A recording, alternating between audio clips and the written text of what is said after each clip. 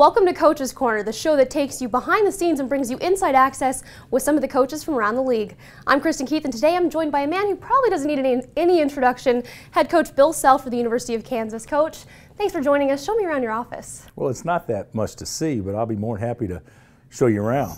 Here we got all the teams that we've had since we've been here, just pictures of teams and kind of what they accomplished. And but this is one of, the, one of my more proud things is that the night that we played uh, Memphis for the national championship in 08, uh, Springsteen was playing in Anaheim. And he found out that I was a fan through somebody that knew somebody that, that was on his lighting crew or something. And so he sent me his set list from that night and, and with the congratulations. So I thought that was pretty cool. And this is kind of a cool deal right here. This is, this is basically paper mache that, that, that uh, uh, a buddy of mine in St. Louis, he didn't give it to me, but he let me keep it in the office, but, but he had somebody do this. And it's, it's, uh, it's a pretty cool um, deal of, of, uh, of art that's very, very unique. So, and I'm not into art, but I was kind of into that. That was, that was nice. And, and so here's just some, some pictures of uh, 08, the national championship. And this is my favorite picture that I have in my office right here. Uh, this is your favorite? It's my favorite because you got four pros going for a loose ball. And if you see my guys, Darnell Jackson, no feet, no hands touching, no feet touching.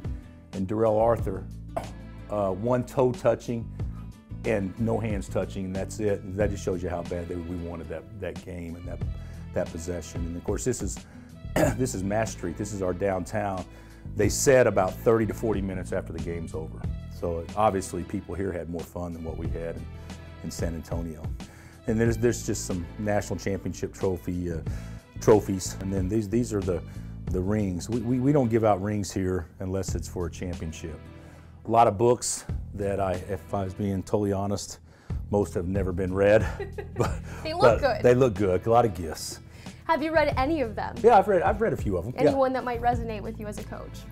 Oh, uh, uh, yeah. There's fine. This is one. You know, Pat Riley, The Winner Within. That was something that that uh, obviously was very popular back when uh, when I first got my hit, my first gig at Oral Roberts, and, and of course that one kind of stuck home with us. Uh, and then and then uh, you know, this is kind of cool for me because it's kind of pays tribute to Mr. Iba. And then I got a picture there with Coach Knight and of course Coach Wooden, you know, three of the the, the, biggest uh, icons that our sport so has ever known. Coaches that you might, you know, look up to, these be three, or who, who might be the one for you that says that that's the coach that I want to be like?